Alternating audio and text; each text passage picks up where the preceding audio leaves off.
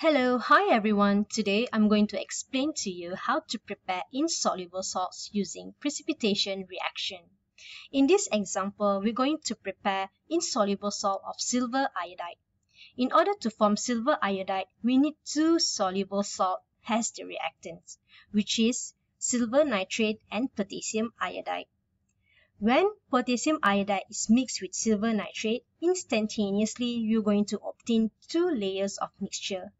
The first layer would be your soluble salts of potassium nitrate. Meanwhile, the precipitate will be the insoluble salt silver iodide. Next, we filter to separate the precipitate.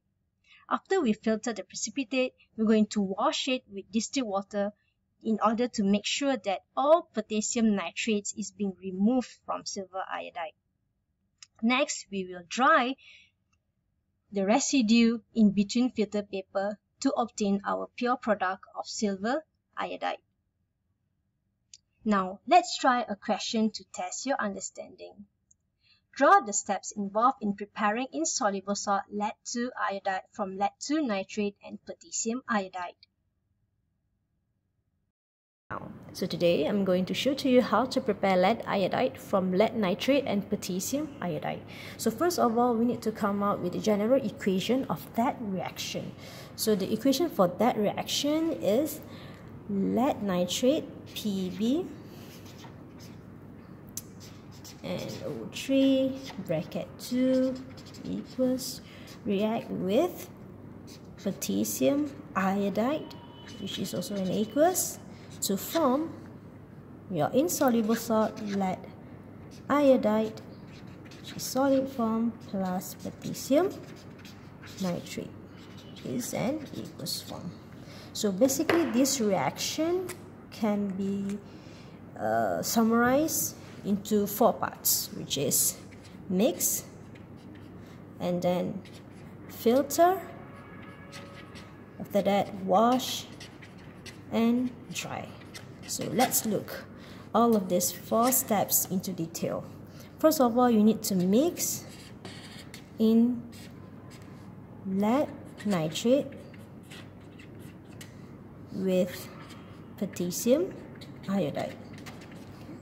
Instantaneously, you're going to get a mixture of solution and a precipitate.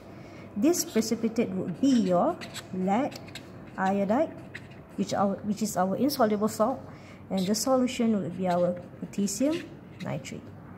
So in order to separate our lead iodide we need to go through a filtration. Okay? What do we require in filtration?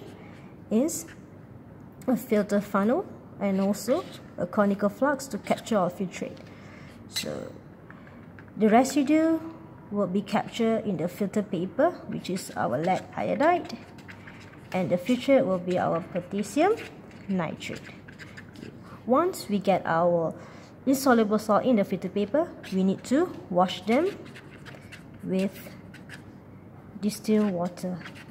Alright why do we need to wash them with distilled water because we need to ensure that any excess of potassium nitrate that might be stick into our lead iodide is fully removed and been filtered out okay? So once we wash them we transfer our residue into a dry filter paper to dry them to dry the salt into crystal.